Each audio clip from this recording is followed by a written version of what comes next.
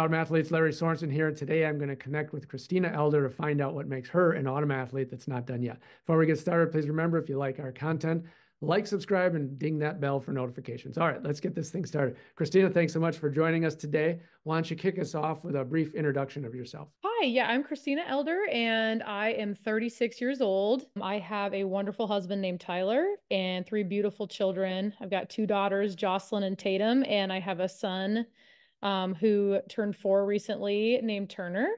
And I reside in Plattsmouth, Nebraska which is a pretty small little town just south of Omaha. Um, I've been living in Nebraska my whole life. So I've been an athlete here in the elements.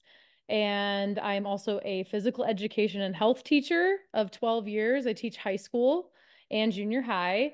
And I've been a track coach for 12 years as well, which keeps me very busy. And I love it. And it's a blessing. And I, that's pretty, and I'm also an athlete. So I continue to pursue track and field uh, growing up a soccer player, I just felt like I didn't have enough time in track. And so I'm just keeping it going. I love it. It's my passion. Tell us a little bit in general about your fitness history, sports, activities, and so forth up until starting this master's career. So I grew up a soccer player starting at age nine. Uh, I was very inspired by like Mia Hamm. I don't know if you remember Mia Hamm and like kind of that big women's World Cup movement at the time. And I knew that I was always kind of sporty and a tomboy growing up. And so sports were always a passion of mine. And I just kind of gravitated towards soccer. A lot of that was because of Mia Hamm and that whole movement um, and played that all through childhood. I didn't really have interest in any other sport because I'm kind of a perfectionist. So I wanted to get really good at that sport. Um, my parents didn't have to motivate me or anything. I just wanted to go to practice. I wanted to train wanted to run. I've always loved running. That was my favorite part of soccer was the running, which is everyone thought was crazy. I loved the conditioning part of soccer. And I knew something was different about me kind of in elementary PE. I just remember like the pacer test, the fitness pacer test that everybody hates so much. I was like, yes, like secretly so excited about doing that test so I could try to beat the boys. and like my mom even had to pick me up from school early in fifth grade because I ran it so hard that I passed out at the end. And so she had to come pick me up. She's like, You've got to be the only kid in America that would do that. and so, yeah, I continued to play soccer all the way through high school, actually, and chose soccer over track because of the same seasons in Nebraska and got recruited into college for soccer mm-hmm. and continued to play till I got hit in the head too much and the track coach noticed my speed and so he invited me to come try a practice and he's like we'll give you a scholarship he like popped me in lane one of the 400 of some small meet without i've never came out of blocks nothing mm-hmm. and i mm-hmm. ran like a 58 second 400 he's like we'll keep you on the team and that's where my track journey kind of started so that was my sophomore year in college and and kind of running track ever since. So, have you had any kind of uh, setbacks or injuries along the way? Yeah, very minor. I've been very lucky. Um, I had a lot of concussions. That was my issue. So, in high school, I had two um, pretty serious concussions. And back then, the concussion protocol wasn't as advanced. And so they're like, oh, is your headache gone? Okay, you're good. Like, go back in and play. so that's probably why I accumulated more concussions, just because the technology wasn't there, the testing wasn't there. Um, so I had two concussions in high school that were pretty serious. And then in college, I had two more. And so my junior year, the trainers were kind of finally like, I think we need to be done with soccer. Like, we need to retire, which was a sad moment for me, but it was a blessing that I had track to fall back on because I am so competitive. I just didn't see myself being done with sports. And so track was right there to kind of pick me up. And that's why still to this day, I love giving back to the sport because it did so much for me at a time that seemed, you know, almost desperate. Like, mm. oh my gosh, I'm done being an athlete. It's going to end this way for me. And track was there for me. Tell us all of your uh, accomplishments whether it be track and field and or even from soccer so back in high school um, i was all state i think two years in a row and my team we made it to the state championship twice i was a defender um, and that was a big accomplishment for my school at the time because they had never made it that far in state fast forwarding to college i was the defensive player of the year for my partic- for my college as a freshman and a sophomore i was also a team captain which was really an honor. And I loved being able to be a leader. I was all conference, I think once or twice, I think twice in soccer. And then in college track, I kind of worked my way up, which was really cool. At first I was very I wouldn't say mediocre. I was I was good, but I was maybe placing in the top 5 in conference. In the 400 meter dash was kind of my specialty. And then by my senior year, I was a two-time All-American, placing 6th in the country in the 400 meter dash, and I got my time from starting my sophomore year was the first time, you know, I've ever ran it. I ran a 58 like high 58, I think like 58.9. And then by my senior year, I was at a 55.2. Um, so I shaved off, that's a lot of time in a 400. So I really shaved off a lot of time to get to that point. And then the coolest part was my four by four uh, team in college. We were able to get eighth place. So we were all Americans, which was kind of not expected. So we were able to place in NCAAs as well, which was really, really cool. So that was how I got to end my senior year, which was really neat. So fast forward after college, I was kind of burnt out. Um, decided to get married, have kids, um, find a job, do kind of those real world things. And then the passion, I just realized running road races and stuff just wasn't really for me. And I wanted to stay fit and active. And I love training and I love working out and the road race scene just kind of i'm like this is not natural for me. I'm definitely a sprinter. Uh so i kind of started to get the itch again after i had my daughter which is my middle child. She's about to turn seven and i started training on the track again kind of more for the mile and the 800 and then i got pregnant with my son so i kind of had to put halt with on training. And then after you know i had my son then covid hit so that was another break which gave me some more time to train um, once I started getting back into it, I was kind of focusing more on the 1500 and the 800, kind of coming from a road racing scene. So I was a, think about it, I think a four time national champion in the 1500 and then a four time national champion in the 800, like during that kind of stint of two years. And then last year was kind of my last year running the 1500. Um, and I was able to get another national championship in the 15 and the 8 and then got the cool experience of going to worlds uh, world championships as a fresh 35 year old went to poland and it was life changing i was able to get a medal and a bronze medal in the 800 by like two tenths of a second. Middle distance medal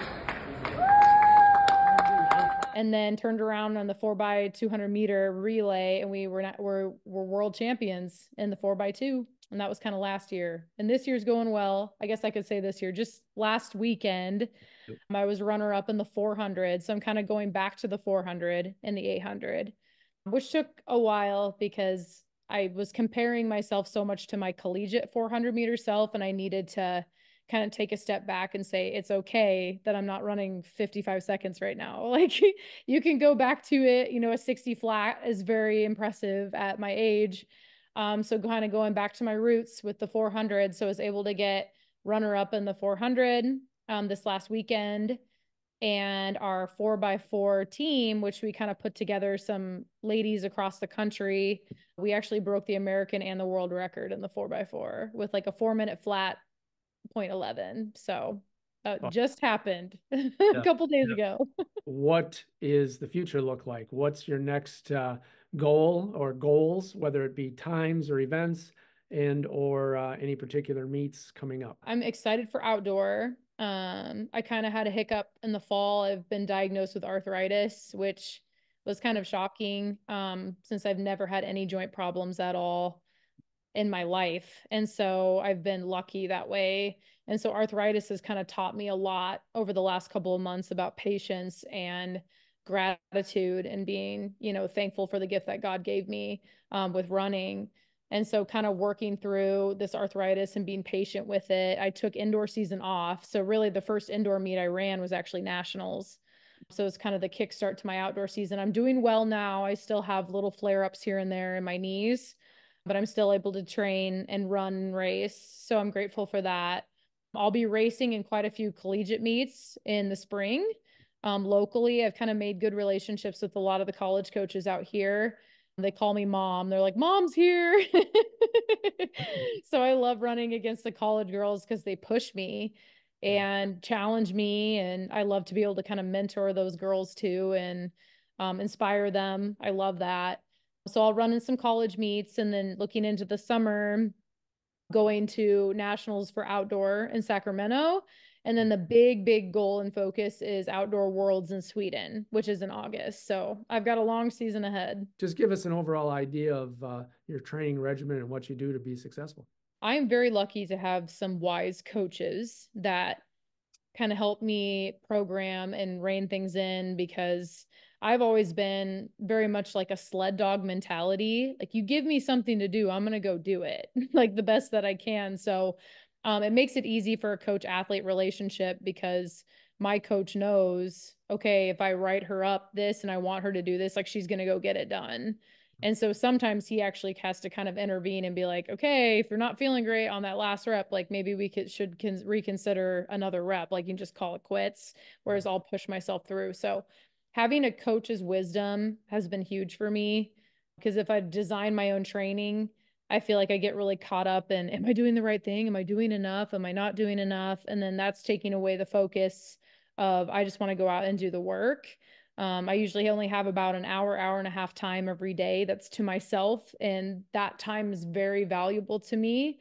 And I, I know that that time spent alone, I don't even have a training partner. I've kind of harnessed the goodness of just being by myself out there on that quiet track. It's just, there's something about it that just makes me a better mom. It makes me a better teacher, coach, all the other thing, how the all the other hats that I wear. So I'm out there for about an hour, hour and a half, depending on the day. I generally have so in season, I have one day that's speed work.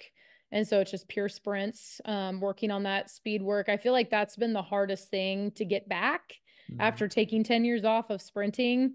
I feel like the speed is slowly coming back, but it also could be my age. I think there's limitations there, but I'm trying not to put a ceiling on myself. I try to, you know, I'm like, I think it'll come back. I just got to keep working. So top end speed for one day, and it's usually like a Monday. And then a Tuesday for me is usually my main workout or my hard workout. And it could be 400 base training or 800 base training, just kind of depending on the week and it's usually pretty hard, pretty lactic. And then I'll also lift that day as well. So my strength coach has me do a lift paired with that heavy day. So that way, Wednesday, Thursday are recovery for me. And that could be a 15 minute jog or a bike ride or even a walk, just kind of depending how I'm feeling. And I'm usually give myself some grace. And so if I know my body is telling me, like, Christina, you need the day off, like, you just need to go home and take a nap, then I'll go do it mm-hmm. which I've gotten wiser with age because in college I wouldn't have done that. I would have pushed through. And then, you know, you see the repercussions by the end of the week. If I have a meet or something like that, I'm still tired. Um, so luckily wisdom has kicked in a little bit in my 30s. so I know to take those recovery days. And then generally like Friday would be a pre-comp day. And then Saturday would be the meet. So it's kind of nice. Um, I feel like my coach has really designed that well and it works good for me because Monday, Tuesday, you know, are paired well together. And then I have a Friday, Saturday meet and those kind of pair together. So I feel like my body is ready to roll again by Saturday, kind of like leading into it from that Friday workout. Mm. So it seems to be working really well for me. And then a Sunday is either a jog, mobility. I do a lot of mobility work and or just a walk with my family. It just I just honestly listen to my body. There's some days that some weeks that I need two days off. There's some where I don't need any. So I've just kind of learned myself and I've learned the signs of I have a Whoop fitness tracker. I don't know if you've ever seen these, but mm. that kind of tells me to it'll kind of give me a warning like your HRV is low, like your heart variability, which means you're not recovered or your resting heart rate is higher than normal. And so I can kind of look at that and track that. And I journal a lot. Um, I journal every single day about, you know, how I'm feeling, how the workout felt. And I feel like that kind of helps me to make decisions based off of letting my coach know, hey, I don't know if I can do this full workout today or maybe I have to push it back a day because that's definitely happened before and you just have to be flexible. Cross training, I don't do a ton. Um, unfortunately, I don't love cross training. I wish I did. Like, I kind of like biking, I guess, but I'd rather just go on a walk if I'm not running. Yeah. But I'm very, I lift twice a week and I lift really heavy. Um, and I feel like that's made a big difference too at my age, keeping me really strong. And I actually really enjoy lifting. Whereas in college, I absolutely hated it. Give us your go to 400 based workout of the track today. I would say my favorite one. I mean, on the day that I'm doing it, it's not my favorite because it's hard, but I know it works. Um, is actually a broken 400. So my coach will have me do um, my whole race day warm up. So treating it like a race. And then I even kind of get nervous like it's a race, which is cool because I feel like I can really harness that adrenaline. Mm-hmm. And when it comes time for race day, I have that confidence because of these workouts. Um, so I'll do my full race day warm up routine, everything, drink the same thing, eat the same thing. And then I have 300 meters at my race pace and then I have a 30 second rest right into 100 meters with everything I have left. Mm-hmm. So, and then that time, you know, you put the two times together and that's a projected 400 meter race time. Mm-hmm. And so those workouts, and sometimes he makes me do two in a day, which is really hard. Like I'll take a full recovery after that first one, like 10 minute rest, mm-hmm. and then go into a 250, 30 second rest, 150. And I am just I am gassed after that. But looking at the times and knowing that I put that work in and how hard it was and how much it hurt, when I get on that line or get in the blocks for the 400, I have so much confidence because I know, hey, like I'm in 59 shape or I'm in 60 flat shape. And so I love it because it's a good little time trial and I can do it on my own pretty well. I've just kind of learned to harness that energy by myself and get those workouts in and then I know what I'm capable of. I'm like, okay, if I can hit that time in practice, I know I can run faster in a meet. And it's cool because he'll have me do that, you know, usually multiple times throughout a season. And so it's cool to see my times drop too, knowing that I'm getting fitter and ready like to do an actual race model and feel pretty good know that I'm not going to collapse with 20 meters to go. So mm.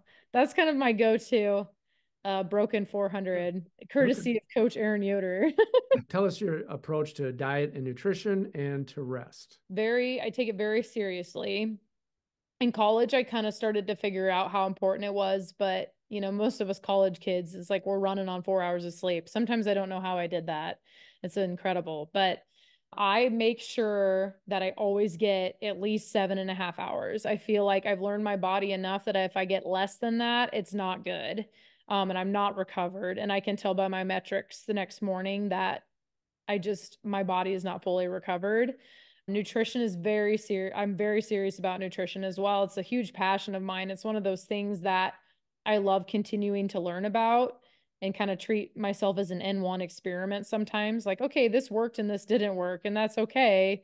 Definitely with my arthritis flare up, I had to cut out a couple of things. I had to cut out dairy, which was super sad. but unfortunately my body just randomly developed an intolerance to it so i had to make some adjustments there. Um, inflammation went way down. And recently a big one is i cut out caffeine which is crazy in athlete world because most people are consuming caffeine. And i said you know what? If i can do hard things if i can do hard workouts i can cut out caffeine. And i love my coffee and everyone that knows me knows how much i love coffee. So um, i cut it out and the first week was terrible. And the second week, I feel like a new person. And it's my arthritis has gone way down, cutting out the caffeine. So hopefully I can add some like half caf coffee in or decaf or something pretty soon. But those are some major adjustments. Um, I pay a lot of attention to my protein intake. Um, I'm a, kind of an animal based athlete, so I'm very high and heavy on red meat and um, chicken and pork, and I eat a lot of meat. I eat a lot of eggs, and then I kind of I focus, my carbohydrates are from fruit. It seems to be the best thing that I tolerate. Um, I don't eat any grains at all. I'm kind of a special case where I have a lot of autoimmune past history problems. So I have to be way more diligent about these things where other athletes are able to eat bagels and bread and all this stuff. Whereas my body just does not thrive that way. And so I'm gluten free, I'm grain free, and I avoid a lot of vegetables that have kind of flared up my gut problems. And so I'm very heavy fruit, very heavy meat and eggs. So I have a very basic diet, but it works well for me. And making sure I'm getting the adequate protein intake um, along with the sleep and the hydration and the electrolytes and all the things. So, but now I'm very intuitive about it. I used to have to track things, but now my body lets me know you're hungry, you need to eat. And yeah. so I'm very passionate about teaching my young athletes, my females, about that as well, because it's so much to do with our hormones. And so many of our female runners are underfed, um, which is called causing RED-S, which is relative energy deficiency syndrome, which is causing like the absence of a period and different hormone issues. So I'm very passionate about teaching the fe- a lot of females too about okay this is how you should be fueling yourself if you're having these signs and symptoms you're under fueled because um, it is so prevalent in the running world. It's gotten a lot better, but I think a lot of females get locked into I need to look a certain way, I need to be skinny to be taken seriously as a runner. Um, and then they're just seeing all sorts of endocrine problems and their hormones are tanking and they're having adrenal problems and all these things. So I'm very passionate about it. What keeps you motivated at this point to keep doing it at this level? And then kind of tell us a little bit about, you know, uh, how do you do it? Like the mechanics of it. I always say I'm not motivated every day. And I tell my high school athletes the same thing, my high school kids. It's I am definitely not motivated every day. I'm maybe motivated once a week. And so for me it's all discipline and it's making it a priority and this is part of my life. It's something that I love and it's going to become a priority and I'm going to fit it in somehow there's some things where I do have to have grace because I know I have responsibilities in life. I'm a mother. So if I have a sick child, like that's my child takes priority.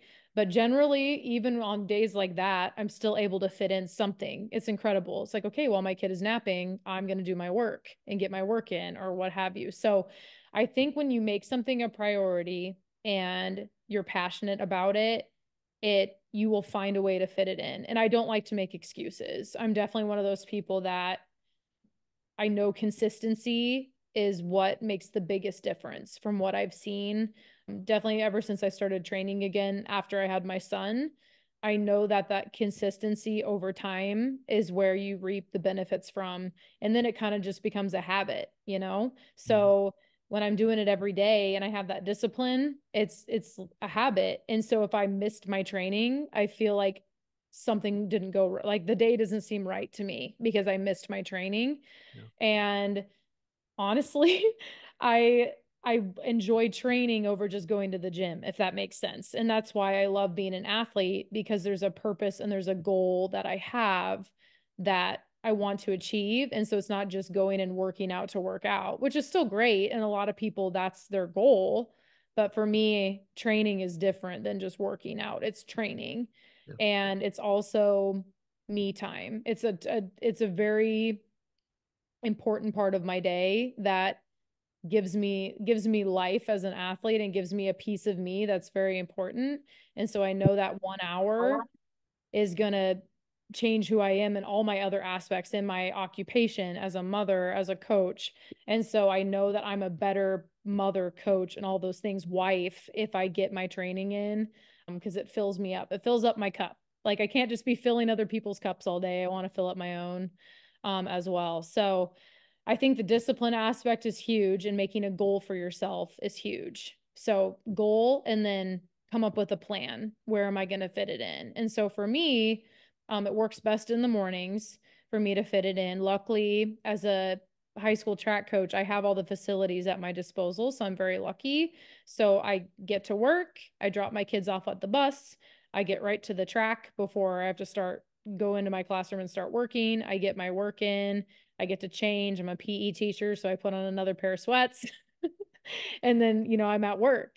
Yeah. And then generally right now while I'm coaching, I work all day and then I coach and then I have to go to the weight room after practice and go lift. And so my days in the spring are very long, but I've learned that over time it pays off to stay consistent. Mm-hmm. And I might have to go to bed earlier because I'm really tired because I've had a full day at school. Um, and so there's little sacrifices that are that are definitely made, but that's where I'm grateful for my husband because he picks up a lot of slack um, in terms of, hey, I'll, I'll make dinner, honey, so you can sit on the couch and put your feet up and use the TheraBoots or whatever you need to do to recover. or he'll help with the kids or whatever have you. So that's without him, I couldn't do it. Yeah. And without the support of my community and my school, I wouldn't, it'd be tough too. So I'm lucky to have so many people that support me that it just kind of, I'm like, I know it can get done. And it kind of drives me to keep going. And um, I think setting those goals for myself and seeing what my body is capable of has just given me life. There's my favorite quote is, I want to truly learn to live and not just be alive. And so to me, it's like I don't want to just float through life. I want to pursue things. I want to do things. I want to inspire others. I want to make an impact. And I feel like that's what it means to live, to truly live. So we're gonna do a we're gonna have a little fun here and do a little rapid fire question and uh, find out a few quirky things about you. Sound good? Cool. Okay. All right. What's the song you're going to pick out of the playlist that's going to get you pumped up today for that workout? Oh my gosh, this is going to sound ridiculous, but I actually love worship music. And so, which okay. my friends give me so much crap for. They're like, that's so unmotivating. It's like sleepy time music. But sometimes I'm like, Lord, I need some motivation. And so um, I'll put some worship music in and it just kind of gets me in the right mindset of, you know, God, I feel like I constantly get that reminder of, hey, I gave you this gift and it's beautiful. Running's beautiful. And um, that actually is what motivates me is some worship music if I need it. So, so do you have a specific song or specific group? I actually love Christian rap. So Lecrae, I love Lecrae. So I, he's kind of my go-to guy. All right, very good. Now you mentioned that you like meat. So rare, medium, or cooked? Ooh, medium rare. Medium rare. All medium right. rare. I just had a steak too, and it was medium rare. My husband just made it. I'm with you on the medium rare. All right. Yeah. How about your favorite book? Right now, Sydney McLaughlin's new book.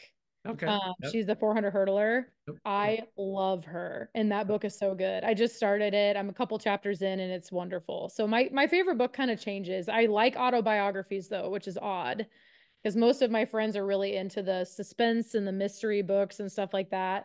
Nope, I just love autobiographies of athletes. What superpower would you want for a day? I think being able to transport from like one place to the next. Okay. My husband and I talk about that all the time. So coming back from Poland, we've been like literally every day. We're like, we just want to go back to Poland to get some pierogies. uh. so I wish I could just like transport to Poland and go eat and then come back home, you know? So when it comes to eggs, scrambled, poached, or over easy? Ooh, that changes weekly as well. Um, right now I'm on a scrambled egg kick, but then I kind of get sick of scrambled eggs and then I'm over easy. So I go over easy, scrambled, and then if I'm going to put an egg on a burger, it's going to be a fried egg and it's going to be like over hard. All right. So, Christina, I want to say thank you so much for taking the time out to tell us what makes you an autumn athlete that's not done yet. I want to mm-hmm. close up here by giving you the opportunity to address our audience and just give us some final thoughts. There's so many inspirational people around us. I know I was inspired by another masters athlete who is one of my best friends now. And she inspired me and running racing against her on the track. So I just walked right up to her and I was like, I want to be your friend. you know, tell me how you do this. And so I think using the community around you and people that inspire you um just not being afraid to ask questions or you know get ideas from someone whether that's training or sharing ideas building relationships and communication is the best. That's what motivates me. You know when i don't have motivation too is reaching out to other athletes and seeing you know how are you doing or can you give me some motivation or some inspiration? And i think within definitely at our age I think community is everything and just finding other like minded people that are motivated just like you or want to be better or better themselves and kind of linking up with those people and going hand in hand, you mm-hmm. know, sticking with positive people. And I think that's that's my best words of wisdom is find a good community and positive people. There's so many people out there that want to help and, you know, inspire you and help you and, you know, just just find your tribe. Fantastic advice. All right, mm-hmm. Christina Elder, everybody. She is definitely an autumn athlete that's not done yet. Remember, keep moving, set your own goals, and trade hard to achieve them. Thanks so much for watching, everybody, and we will see you next time. Thanks, Larry.